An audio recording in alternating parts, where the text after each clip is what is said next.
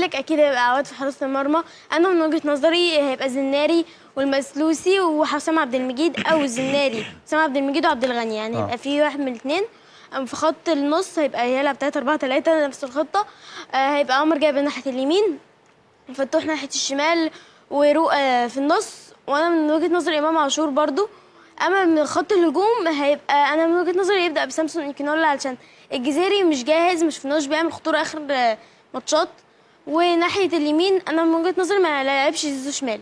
زيزو ما بيجيش في الحتة دي قوي عكس ما هو بيجي في حتة الحتة اليمين بيعرف ي- يرفع كروس ويعرف يشوط بيعرف يلعب ناحية اليمين. هو أنا معاها إن زيزو هيلعب يمين. لا والله. أه هيبدأ يمين الماتش ده. تمام. أهو اتفقتوا في الآخر. أه أهو الحمد ما هو لله. لازم في النهاية نتفق. كده نقول مبروك. طيب. ناحية الشمال هو مصطفى شلبي مش جاهز كليا يعني فممكن ونداي مصاب فممكن